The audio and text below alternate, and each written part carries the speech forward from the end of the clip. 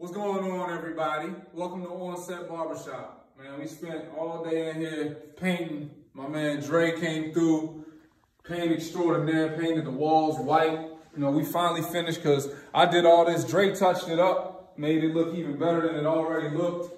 We finished this wall over here today. If you remember, that wall was all black. That wall was all black. Now it's white.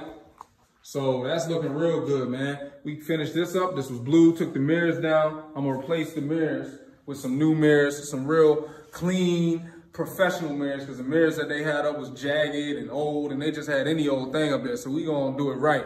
Follow me over here.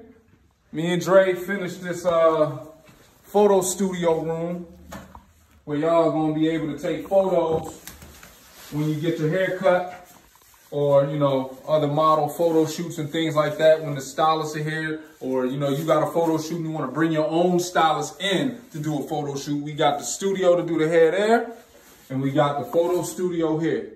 So uh, we got some more work to do but we got a lot done man and i appreciate my man dre for coming through Sure, and uh, helping me with this because I man, we spent 12, what is it, 13 hours we've been at this. 13 hours. We spent 13 hours a day and got the whole shop done, which saved me a lot of time, saved my marriage with that.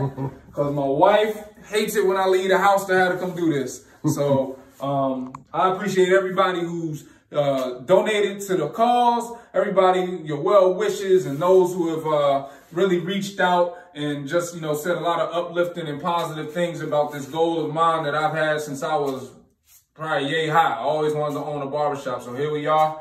And, uh, you know, I'm, I'm just trying to put all my skills to use in one place. So I look forward to everybody, you know, coming out to my grand opening, hopefully January, uh, depending on what COVID's doing. But um, I just, you know, really hope everybody comes out and, and, and enjoys this, uh, this uh, extravagant occasion with me in January or February, but 2021 nonetheless. So, uh, like I always say,